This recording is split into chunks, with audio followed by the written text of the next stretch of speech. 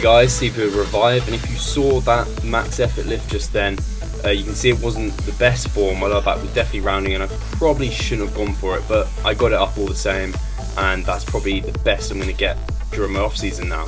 So here you're seeing my power lifts, and with these, they should be non-fatiguing. So they're 60% of your one rep max, which is around 140 kilograms for me. So each set is non-fatiguing. I'm not tired after each one. I'm having very limited rest periods of about 30 seconds.